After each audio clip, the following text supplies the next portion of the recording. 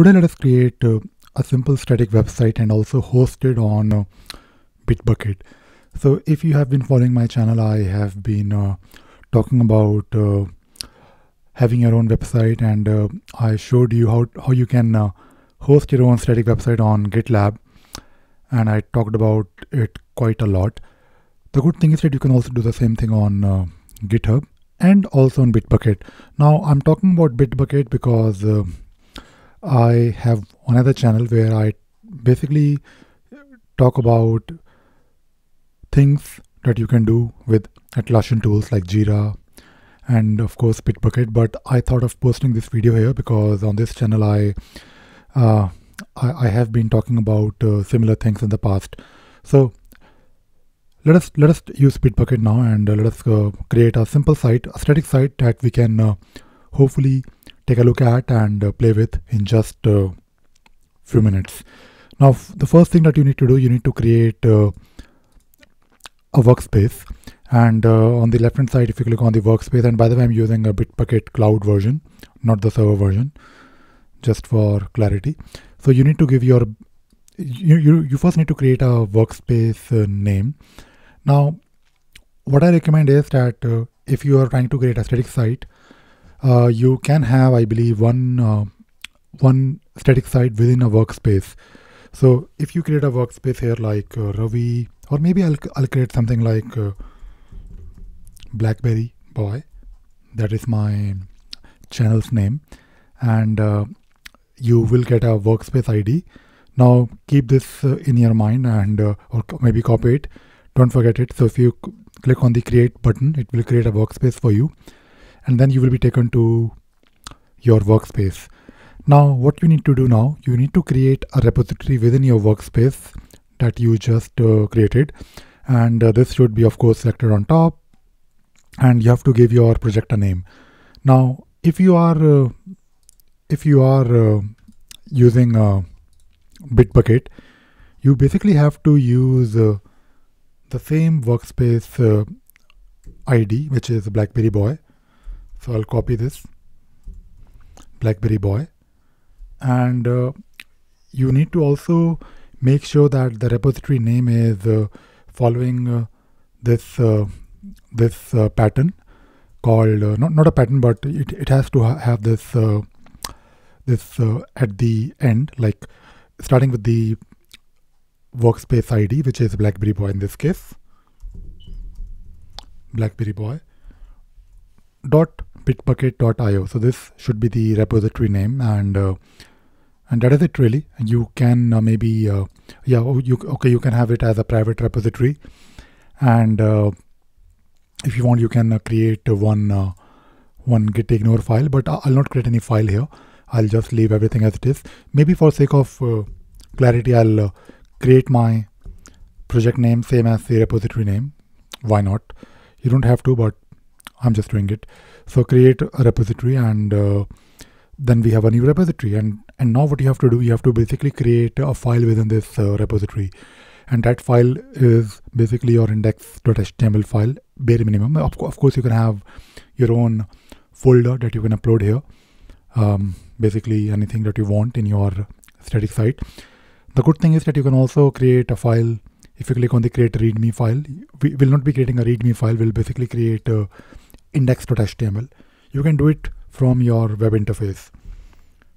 So you can uh, create one file and maybe you want to get rid of everything and uh, maybe you just want to type in some HTML. So nothing too complicated. I'll just keep it very simple HTML. And what else? Let us also have a body. I think uh, there is no harm in following some basic uh, structure when it comes to making a site. And uh, this or maybe maybe a bit more while I'm doing it you know let, let us create some some content. So blackberry boy is the name of my site. And I may want want to have maybe a title. I hope I'm doing it correctly. We don't really um, write pure HTML these days. Although I have a I have a site called ravisagar.com, which is nothing but pure HTML. I think there is a joy, like some kind of a sweet joy in doing the in creating a website in just plain HTML. So title is welcome to BlackBerry Boy, and uh, and that is it. So this site is uh, created using, or rather, I should say, is hosted on Bitbucket Cloud. I hope maybe I'll uh, just enclose everything in a div.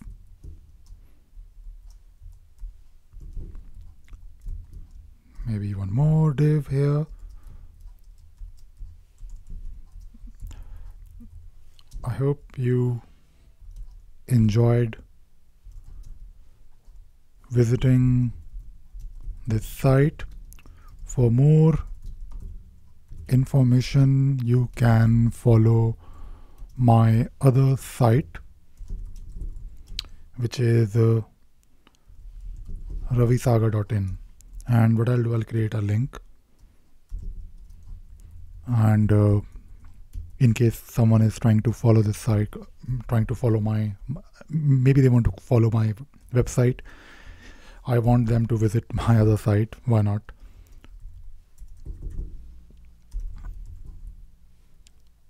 And basically, the bare minimum you need is, of course, one HTML file. But of course, you can add uh, CSS, and I think you, I think you can also add uh, JavaScript.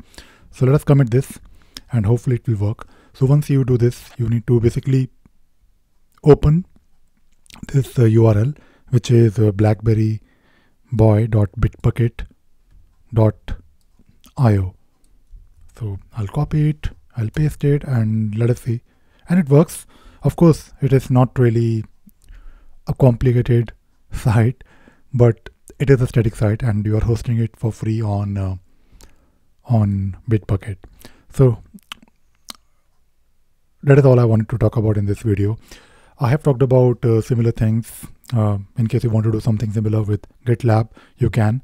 Also using GitHub. I, I maintain a couple of sites on uh, GitLab because uh, it gives me an. I mean, GitLab offers pipelines. So basically, whenever I commit something from my local computer and I push it, GitLab will publish the site for me automatically. So I, I quite like that. And uh, on GitLab, you can also have a custom domain. So that is always good to have along with of course the certificate. So in case you want to do something maybe with bitbucket you can. I mean there is a possibility and that is what i uh, basically wanted to show you today. So i hope you enjoyed watching this video and you learned something new today. Thank you very much